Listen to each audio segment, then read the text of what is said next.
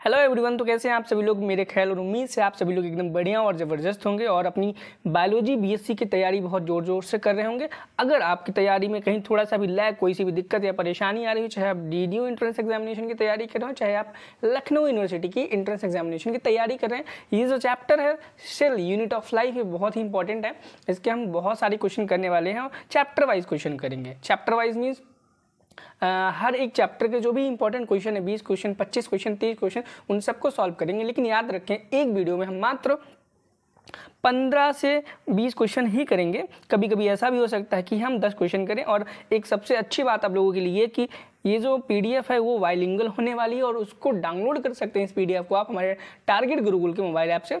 तो टारगेट गुरुकुल के बारे में अगर मैं आपको बताऊँ कि टारगेट गुरुकुल एक ऐसा प्लेटफॉर्म है जहाँ पे आपको लखनऊ और डी दोनों यूनिवर्सिटीज़ की एंट्रेंस एग्जामिनेशन के लिए प्रिपरेशन कराई जाती है। यहाँ पे मैं आपको सिर्फ़ बायोलॉजी के ही इंपॉर्टेंट क्वेश्चन पढ़ा रहा हूँ, लेकिन अगर आपको फुल कोर्स पढ़ना है क्रैश कोर्स ज्वाइन करना है तो आप टारगेट गुरुकुल ऐप को डाउनलोड कर सकते हैं और वहाँ पे आप अपनी पढ़ाई कर सकते हैं। क्रैश कोर्स सिर्फ़ बीए के बी वाले बच्चों के लिए ही नहीं है B A B S C B com L L B B L L B इन सभी के लिए है अवेलेबल है। आप जाकर के टारगेट गुरुकुल का ऐप डाउनलोड करें, जिसका डिस्क्रिप्शन में लिंक दिया गया होगा, और इस पीडीएफ की भी लिंक आपको वहीं ऐप पर मिल जाएगी। तो चलिए हम क्वेश्चन शुरू करते हैं। हमारा क्वेश्चन पहला है। देखिए, मैं ये भी बताऊँगा कि कौन सा क्वेश्चन बहुत ही मोस्ट इंपॉर्टेंट है, उसको आप अपनी कॉपी पे लिख के उतार के रख लेना, और एग्ज़ाम के एक दिन पहले पढ़ के चले जाना। हो सकता है मेरे बताए हुए कि जो मोस्ट इंपॉर्टेंट क्वेश्चन जिन्हें मैंने बताया है, उसमें से हु बहु सेम वही क्वेश्चन ऑप्शन के साथ मैच कर जाए। तो आज थोड़ा सा समय बोलने में मैंने निकाल दिया है तो आज मात्र दस क्वेश्चन करेंगे। आगे के दस पार्ट टू में पार्ट थ्री ऐसे करके पार्ट बनाएँगे, उसके चैप्टर वाइज क्वेश्चन करेंगे। तो चलिए क्वेश्चन स्टार्ट करते हैं। पहला क्वेश्चन ये है who discovered the cell cell की डिस्कवरी किसने की? देखो, बहुत बार ऐसा आपको डाउट आ सकता है, रॉबर्ट हुग ने की या रॉबर्ट ब्राउन ने की, एंटनी वन ने की, किसने की? देखो जो सेल की डिस्कवरी याद रखना उसे रॉबर्ट हुक ने की थी। ठीक है? इसको एकदम से याद कर लो रॉबर्ट हुक ने की थी और ये बहुत ही इंपॉर्टेंट क्वेश्चन है। अब देखो, जो भी इंपॉर्टेंट क्वेश्चन होगा ना, मैं उस पर क्या करूँगा? इस तरीके से एक गोला ऐसे बना दिया करूँगा। ठीक है, गोला। तो मैं कहूँगा नहीं इंपॉर्टेंट है, मैं गोला बना दिया करूँगा, आप लोग समझ जाना। ठीक है? अगला क्वेश्चन यहाँ पे हम देखें। नहीं, गोला नहीं बनाऊँगा, चलो मैं बता दिया करूँगा। ठीक है? अगला क्वेश्चन बोलता है कि which is the largest cell in the human body human body में कौन सी सेल लार्जेस्ट है? Nerve cell, muscle cell, ovum, blood cell तो इसका जो करेक्ट आंसर होगा वो होगी ओबम सेल जो है वो लार्जेस्ट है ह्यूमन बॉडी में, ठीक है? नेक्स्ट क्वेश्चन की हम तरफ़ चलें।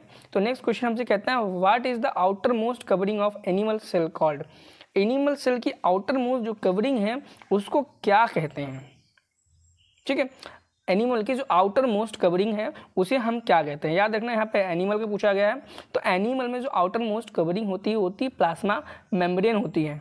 क्या होती है? Plasma membrane. लेकिन यही सेम क्वेश्चन आ जाए, एनिमल की जगह प्लांट लिखा हो तो वहाँ पे प्लाज्मा मेम्ब्रेन ना होकर के सेल वॉल हो जाएगा। तो इस क्वेश्चन को घुमा करके आपसे ऐसे भी पूछा सकता है। यहाँ पे एनिमल्स के बारे में पूछा गया था। पिछले क्वेश्चन में आपसे क्या पता पूछा जाए कि प्लांट की सबसे आउटर मोस्ट लेयर कौन सी होती है? तो उसका आप जवाब होगा शेल वॉल होती है। ठीक है? क्वेश्चन नंबर फोर की तरफ़ बढ़ेंगे। हिंदी मीडियम वाले बच्चे बगल साइड में यहाँ से देखते रहे। उनके यहाँ पे हिंदी प्लस में क्वेश्चन ऑप्शन और आंसर लिखे हुए आप वहाँ से पढ़ सकते हैं। मैं एक ही विषय में पढ़ाना चाहूँगा ताकि कम से कम समय में ज़्यादा से ज़्यादा कंटेंट को डिलीवर कर सके। तो नेक्स्ट क्वेश्चन हम पढ़ेंगे यहाँ पे। What is the function of ribosome in the cell ribosome का क्या फ़ंक्शन होता है सेल में? राइबोसोम का क्या फ़ंक्शन होता है सेल में? ठीक है? राइबोसोम क्या करता है? प्रोटीन सिंथेसिस करता है। सबसे पहले हमें ये जानना पड़ेगा कि कि राइबोसोम कौन कौन से प्रकार, देखो राइबोसोम दो चीज़ों का निर्माण करते हैं। देखो, हमारे पास दो तरह के राइबोसोम होते हैं, याद रखना कितने तरीके के होते हैं। दो तरीके के होते हैं। एक आर होता है, जिसे रफ इंडोप्लाज्मिक रेटिकुलम बोलते हैं। सॉरी ये तो रेटिकुलम है. सॉरी सॉरी सॉरी सॉरी मैं गलत हूँ गलत हूँ. यहाँ पे यही ऑप्शन सही है और कोई दूसरा नहीं है. प्रोटीन सिंथेसिस करते हैं. राइबोसोम जो है, वो प्रोटीन सिंथेसिस करते हैं. अगर आपसे क्वेश्चन ये पूछा जाए कि राइबोसोम कहाँ पर बनते हैं तो राइबोसोम न्यूक्लियोलस में बनते हैं. न्यूक्लियोलस एक सेल ऑर्गेनिल है जो कि न्यूक्लियस के अंदर पाया जाता है. ठीक है? नेक्स्ट क्वेश्चन की तरफ़ हम चले क्वेश्चन नंबर फाइव में. Which organelle is responsible for the synthesis of ATP in the cell ऐसा कौन सा कोशिकी है, ऐसा कौन सा कोशिका है जो एटीपी की फॉर्मेशन में मदद करता है? तो सबको इसका आंसर पता होगा और ये इंपॉर्टेंट माना जाता है एग्ज़ाम में आ सकता है। आने के कुछ चांसेस हैं, आप इसे नोट डाउन ज़रूर कर लें। अगर पता है तो कोई बात नहीं, अगर नहीं पता है तो इसे ज़रूर से ज़रूर कॉपी में नोट डाउन कर लें, ठीक है? क्वेश्चन नंबर सिक्स की तरफ़ चलेंगे।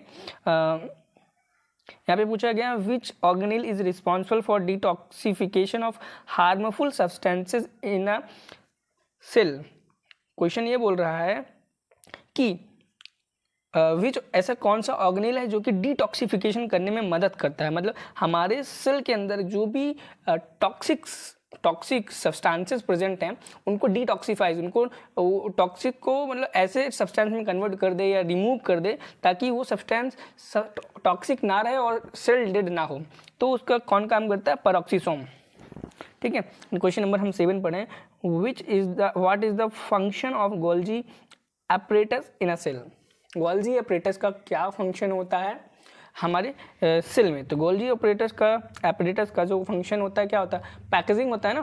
Packaging and processing option D ये देखिए प्रोटीन देखिए। प्रोटीन मॉडिफिकेशन एंड पैकिंग का फ़ंक्शन होता है गोल्जी बॉडी का, ठीक है? अगर पूछा जाए आपसे कि गोल्जी बॉडी को किसने डिस्कवर किया था। तो आपका आंसर क्या होगा? कैमिलो गोल्जी याद करो, इसको लिख लो, ये इंपॉर्टेंट क्वेश्चन है। कैमिलो कैमिलो गोल्जी और यहीं पे आपसे पूछा जाता है ये जो पिछला क्वेश्चन गया है राइबोसोम वाला, पूछा जाता है कि राइबोसोम की डिस्कवरी किसने की थी? तो जॉर्ज पैलाडे जी पैलाडे जॉर्ज पूरा नाम आप लिखना, क्योंकि एग्ज़ाम में पूरा ही लिख करके आता है। जॉर्ज पैलाडे जी पैलाडे मत लिखना। ठीक है, नहीं तो आप कन्फ्यूज़ हो जाओगे जी पैलाडे क्या आता है तो जॉर्ज पैलाडे पूरा नाम लिख करके आता है एग्ज़ाम में? शॉर्ट में नहीं लिख के आता है। ठीक है क्वेश्चन नंबर का सेवन तक हमने कर लिया तो क्वेश्चन नंबर एट भी करने जा रहे हैं एट क्वेश्चन बोलता है which organelle is responsible for the storage of cellular material in a plant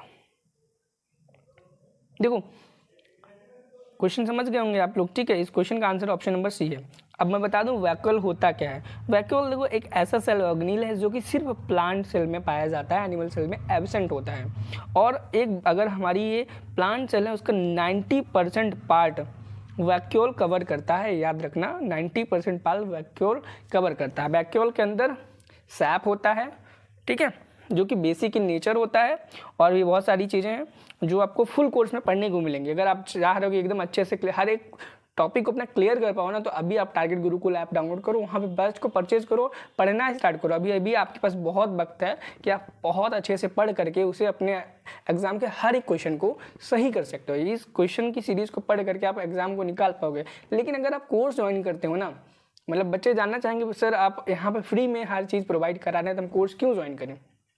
तो मैं आपको बता दूँ कि जो यहाँ पे कंटेंट आपको फ्री में यूट्यूब पे मिल रहा है अच्छा बा अच्छा है वो। ऐसा नहीं, खराब कंटेंट है। लेकिन इसको पढ़ करके आप सिर्फ़ अपने एग्ज़ाम को क्वालिफाई कर पाओगे, अपनी रैंक नहीं बना पाएँगे। अगर आपका रैंक आएगा तो आपको मेन कैंपस में पढ़ने को मिलेगा, विश्वविद्यालय में। अगर आपकी रैंक नहीं आएगी तो क्या पता आपको कोई प्राइवेट कॉलेज या अफिलेटेड कॉलेज गवर्नमेंट मिले, जो कि अच्छा ना हो। इससे अच्छा ये रहेगा कि आप ज़्यादा महँगा नहीं कोर्स होगा maybe about four nine nine का कोर्स होगा, आपको इंस्टॉल करें और वहाँ पर परचेज करें, ठीक है? क्वेश्चन नंबर पढ़ते हैं. नाइन की तरफ़ which organelle is responsible for the synthesis of lipid in a cell cell में लिपिड की सिंथेसिस करने के लिए कौन सा ऑर्गेनिल रिस्पॉन्सिबल होता है? इसका आंसर भी सबको पता होगा और ये क्वेश्चन भी बहुत इंपॉर्टेंट है. Option number B endoplasmic reticulum याद रहे इंडोप्लाज्मिक रेटिकुलम दो प्रकार के होते हैं. Rough endoplasmic reticulum R E R जिसे शॉर्ट में बोलते हैं, और दूसरा S E R smooth endoplasmic reticulum ठीक है? और पूछा गया था यहाँ पे, लिपिड के लिए कौन होता है? लिपिड के लिए होता है इंडोप्लाज्मिक रेटिकुलम कौन सा?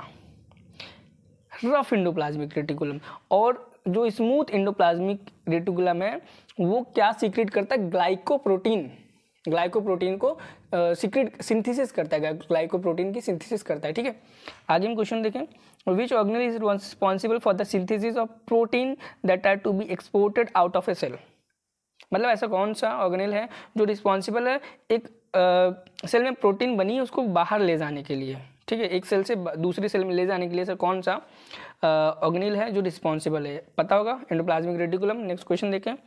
Which is the largest organelle in a body और इन अ सेल हमारे सेल में कौन सा ऑर्गेनिल सबसे लार्जेस्ट होता है?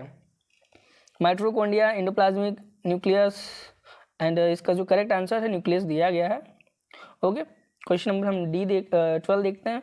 Which organelle is responsible for the break down of cellular waste in a cell cellular waste के लिए, देखो सेलुलर वेस्ट के लिए ब्रेक डाउन करने के लिए कौन रिस्पॉन्सिबल है? इसका क्वेश्चन का कहने का ये मतलब है, अगर सेल है आपकी सेल में कोई भी गंदगी, कोई भी टॉक्सिक सब्सटेंसेस ऐसे बहुत सारी चीज़ें पड़े होंगी जिनका हमें कोई काम नहीं है तो उनको ब्रेक डाउन कौन करता है? तो ब्रेक डाउन करता है लाइजोजाइम जो कि हाइड्रोलिटिक इंजाइम से फुलफिल होता है। याद रखें, आपको क्वेश्चन में भी आ सकता है कि किस ऑर्गेनिल के पास हाइड्रोलिटिक एंजाइम्स प्रेजेंट होते हैं तो इसका भी ऑप्शन हो जाएगा लाइजोजाइम ठीक है? Question number thirteen which is the smallest cell in the human body human body में सबसे छोटी सेल कौन सी है? Option number C red blood cells ठीक है? जिसका साइज़ कितना है वो जानना हमारे लिए भी इतना ज़रूरी नहीं है। What is the function of the cytoplasm in cell बहुत ही अच्छा क्वेश्चन है कि हमारे सेल में साइटोप्लाज्म का क्या फ़ंक्शन होता है, ठीक है?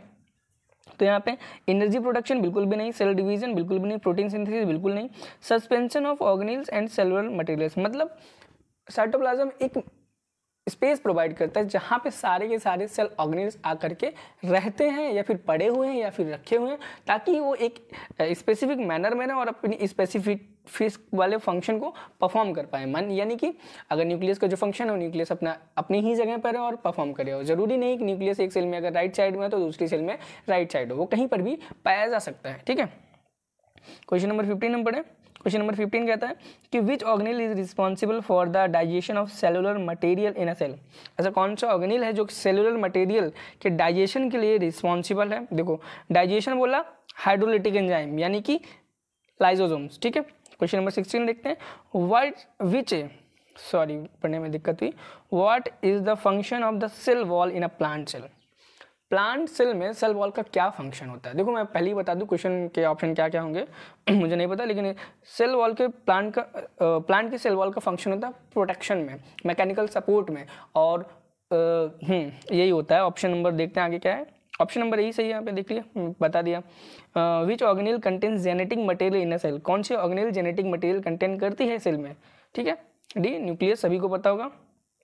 Which organelle is responsible for the synthesis of carbohydrates in a plant cell ऐसे कौन सी ऑर्गेनिल है जो कि रिस्पॉन्सिबल है कार्बोहाइड्रेट बनाने के लिए? वो भी प्लांट सेल में। तो याद रखें कार्बोहाइड्रेट बनाती है हमारी क्लोरोप्लास्ट याद रखें सी से कार्बोहाइड्रेट सी से क्लोरोप्लास्ट क्लोरोप्लास्ट ठीक है?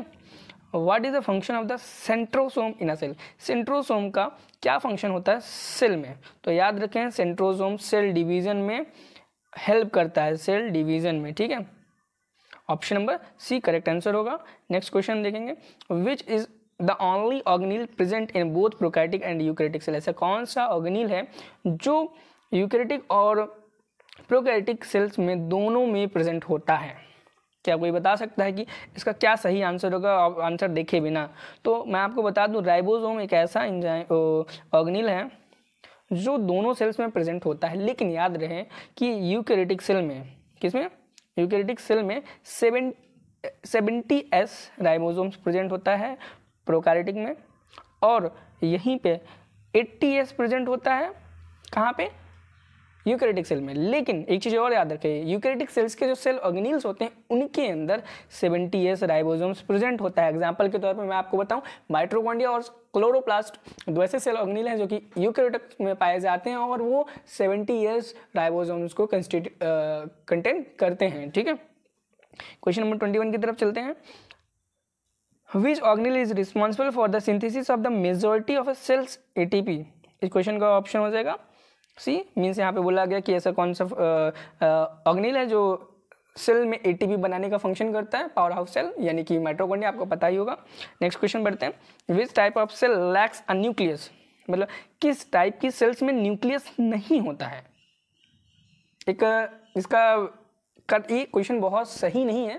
क्वेश्चन बनाने का इन्होंने तरीका थोड़ा सा गलत किया है कि क्वेश्चन ऐसा नहीं होना चाहिए। था क्वेश्चन क्वेश्चन कुछ इस प्रकार से होना चाहिए था? किस प्रकार की सेल में जो न्यूक्लियस है, उसकी न्यूक्लियर मेम्ब्रेन बिल डेवलप नहीं होती है। ऐसा इस प्रकार से क्वेश्चन करना चाहिए, जिसका आंसर होना चाहिए। प्रोकैटिक सेल, क्योंकि प्रोकैटिक सेल में जो न्यूक्लियर मेम्ब्रेन है, न्यूक्लियस की, वो डिसइंटीग्रेटेड होती है, ऐसी टूटी टूटी होती है, और उनका जेनेटिक मटेरियल पूरा साइटोप्लाज्म में ऐसे बिखरा पड़ा होता है। नेक्स्ट क्वेश्चन की तरफ़ हम बढ़े।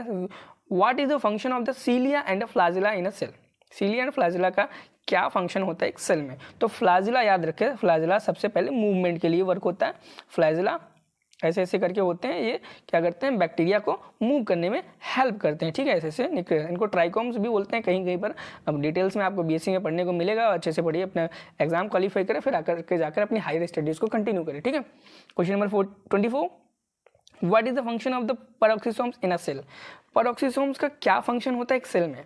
तो याद रखें peroxisomes detoxification of harmols harmful substances को परफॉर्म करते हैं मतलब कि हमारे सेल में जो भी डी टॉक्सिन्स उनको डिटॉक्सीफाई करने के लिए काम करते हैं। मतलब हमारे सेल में जो भी टॉक्सिन्स प्रेजेंट हैं, उनको बाहर निकालने के लिए काम करते हैं। और और लाइजोजोम क्या करते हैं? लाइजोजाइम हमारे जो भी वेस्ट मटेरियल उनका ब्रेक डाउन करते हैं। उनके अंदर हाइड्रोलिटिक एंजाइम होता है लाइजोसोम्स के अंदर, ठीक है? क्वेश्चन नंबर ट्वेंटी फाइव और which type of cell contains a cell wall किस प्रकार के सेल के अंदर सेल वॉल होगी? बहुत ही प्यारा सा क्वेश्चन है और इसका बहुत ही प्यारा सा जवाब है।